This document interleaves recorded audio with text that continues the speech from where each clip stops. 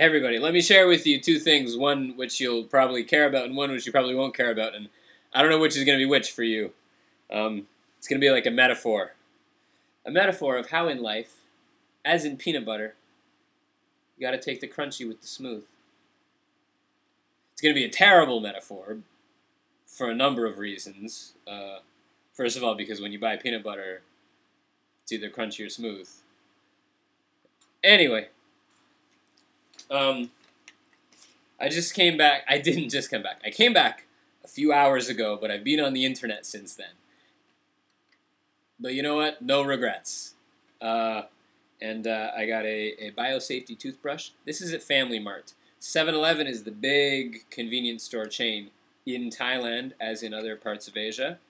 I think they're owned by Japan now. And by Japan, I mean Japanese people.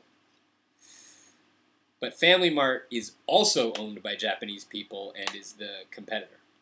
Anyway, biosafety toothbrush. I can't think of anything funny to say about a biosafety toothbrush, but I like the name. And I'm amused by the name. Uh, hand soap to wash my one my one hand that, that works properly. The other hand I'm just washing with like antiseptic wipes. It's very it's very nursing home. I don't know if they use a lot of antiseptic wipes in nursing homes, but I imagine they might. Anyway, so I I bathe my one hand like eh. um I'm ready to lose this, I gotta tell you. Uh chocolate mangosteen soap. This is the basics, all the basics, you know? Have you ever had a mangosteen? A mangosteen is a delicious fruit. Let me see, there's a picture of it right here. That's a mangosteen. There's also a picture of it right here. Where's my mangosteen? There's the mangosteen. I'm not going to bring it any closer for you, but I got all the good fruits there. A mangosteen, basically, is to a mango. I know this is what you're wondering. Mangosteen is to mango as pineapple is to apple meaning that they're not the same at all.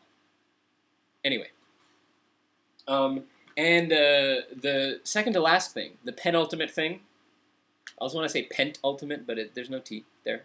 The penultimate thing is that uh, I got I got Darlie double action toothpaste, and Darlie wasn't always called Darlie. You guys may know this or you may not. Let me see if you can see that guy there.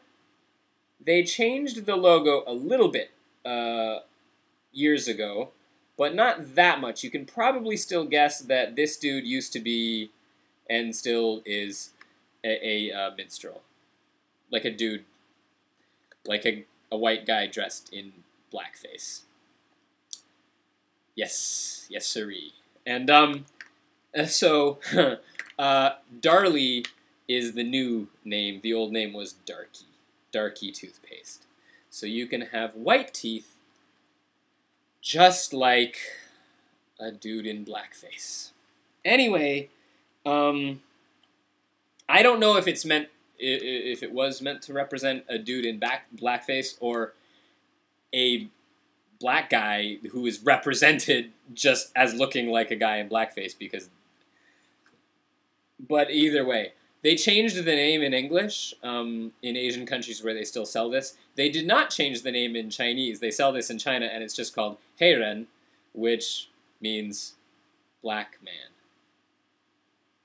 Black man toothpaste. It's still still called that in China. Anyway, um, and in Thai, it's just called Dali. Oh, I'm sorry. There's a Dali, like Salvador Dali. Anyway. Uh, that's that. The the ultimate thing, ultimate thing that I bought is a harmonica.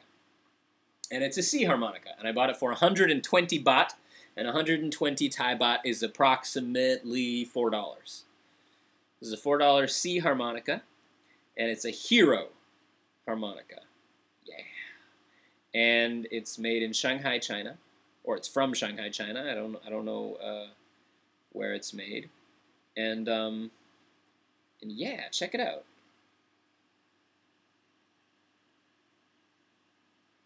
So, this is why this is why I got this because the guitar is not I'm learning, I'm still practicing one-handed guitar. Eh, it's okay, you know, it's going all right. Like I did with Goodnight Irene, you can look for that, but um It's not satisfactory like strumming. Anyway, not satisfying or satisfactory. Uh, I'm learning how to play this. So this is day one of learning how to play a harmonica. Let, right off the bat, I don't know how to bend notes. Bending notes is what you do to get the notes in between the scale that the harmonica is in. Flat notes and accidentals, what would be accidentals in a written note piece of music. Um, I can't do that. I don't even know how to do that. Bending notes, I think, much like playing the didgeridoo and some other things, is one of those skills that's a little fiddly, throat singing too. Hard to understand and hard to explain what's really happening physically or perhaps physiologically. And everyone you ask has, like, they think they have the greatest way of explaining it. Or they just don't even try and it's annoying. But it's annoying too when people are like, oh, I'll tell you how to do this. I'll tell you how to roll the R in Spanish. I know how to roll the R in Spanish. And it's like that, you know? Their explanations basically never help. Maybe you're lucky if they help a little bit. Something makes sense to you. Two stories I'm thinking of, and it's my channel. I'm just to tell you I don't even care. I just skip ahead. I'm to play harmonica later. One is from Wisdom of the Zen Masters, and that's an awesome comic book, and it's awesome. And it looks a lot like this because it was written by the same guy, or it was illustrated. No, and written by the same guy. He's Taiwanese, and he's just amazing. Uh, Cai Zhizhong and uh, they write it weird here because it's Taiwanese romanization, but Cai Cai Zhizhong, like C A I. Anyway, he is great.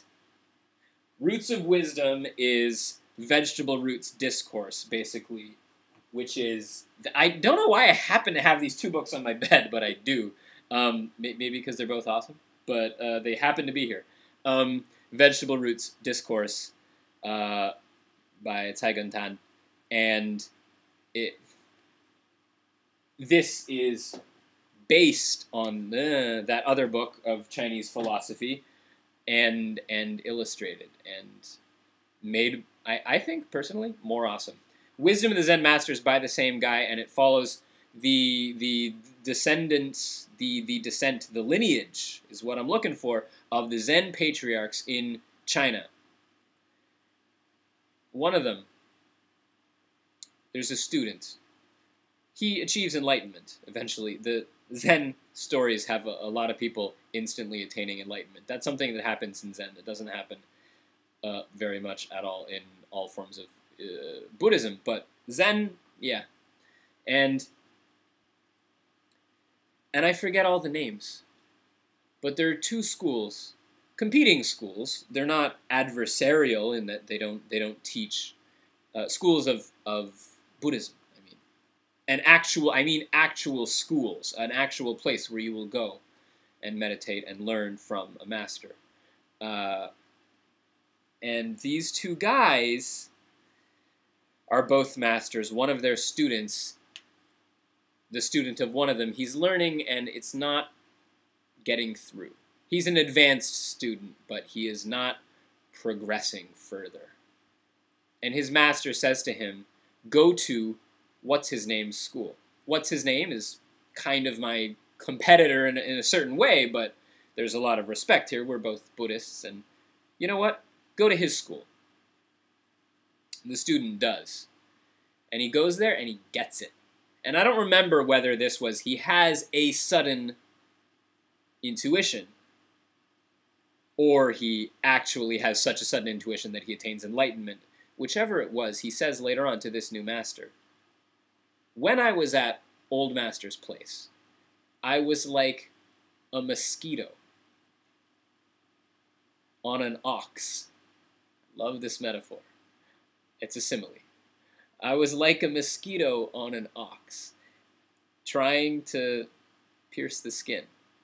That was me, trying to attain wisdom. I was like a mosquito on an ox, trying to pierce his thick hide and I couldn't do it. But with you, right in there.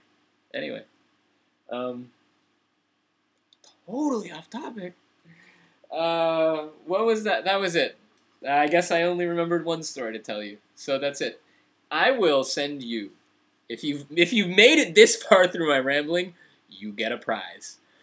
I will send you anything you want that is available for purchase in Bangkok. Okay? If you can tell me the name of this song that I'm going to play the tune to right now.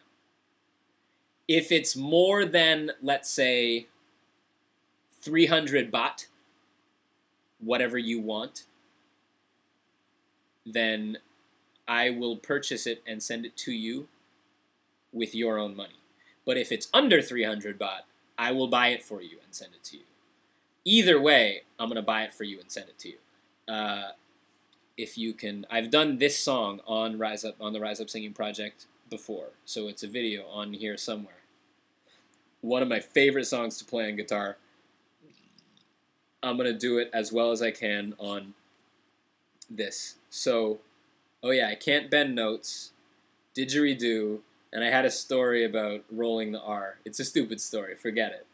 I can't bend notes, and I know that you're supposed to practice playing only one note at a time on this thing instead of the sort of triads that it naturally plays. Um, I'm not very good at that yet. Here goes, this is day one, okay? Guess the song.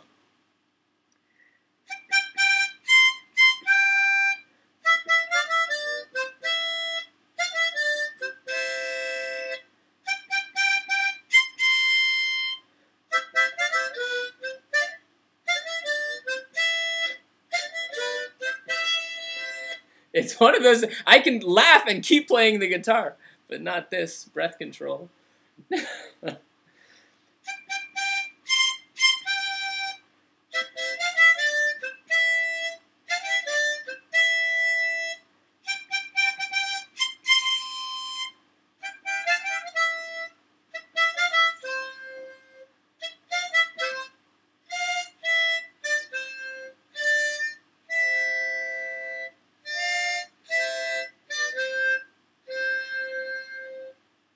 Chorus goes like this.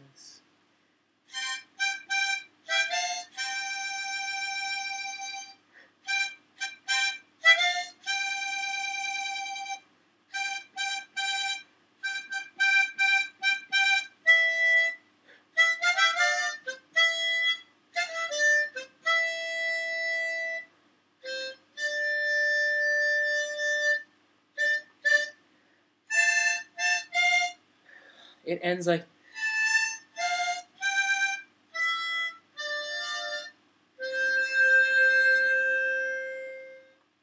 Oh wow. Maybe you can do that. If you know the song, I you know what? If you know the song, I think that'll be enough for you to get it. I'll send you whatever you want. I'll go buy it. I don't I don't care if it's like something like embarrassing to buy, you know. What what's embarrassing to buy when you're an adult? But um uh,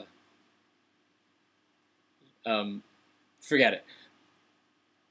Just tell me. We're having mailing fun here with traditional post, and uh, I'm gonna get out of here and go to sleep, and then spend a lot more time on the internet tomorrow. Good night.